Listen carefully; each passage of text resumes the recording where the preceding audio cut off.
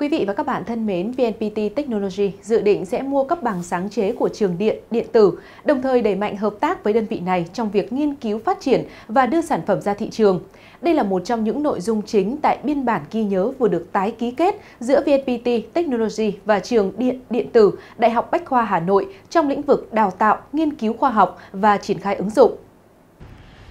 Nội dung biên bản ghi nhớ tập trung vào các lĩnh vực như tổ chức hướng nghiệp, giới thiệu cơ hội thực tập và việc làm cho các cộng tác viên và các sinh viên của trường, tổ chức các cuộc thi nghiên cứu khoa học.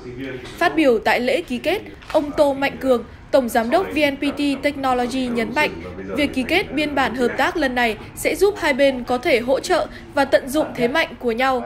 Trên cơ sở đó, VNPT Technology mong muốn sẽ tuyển được nhiều sinh viên sau khi tốt nghiệp về làm việc tại công ty.